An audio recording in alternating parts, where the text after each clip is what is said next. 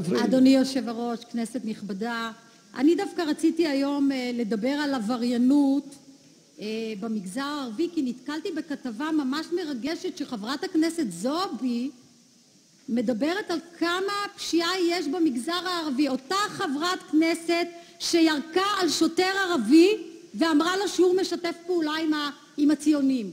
זו אותה חברת כנסת שמתלוננת על פשיעה במגזר. אז זה בדיוק ככה, זה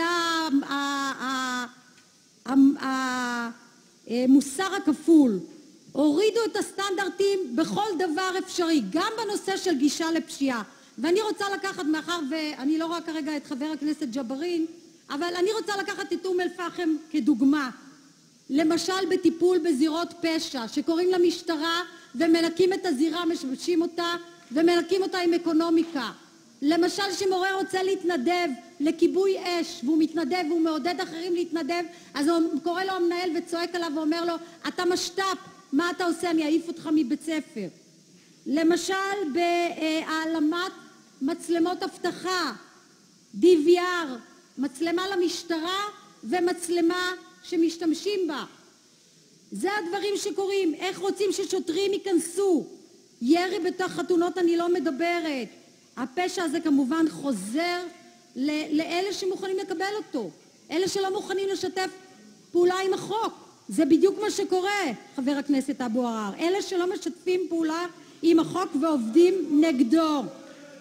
ולכן, אם עובדים נגדו, מה, על מה אתה מתלונן?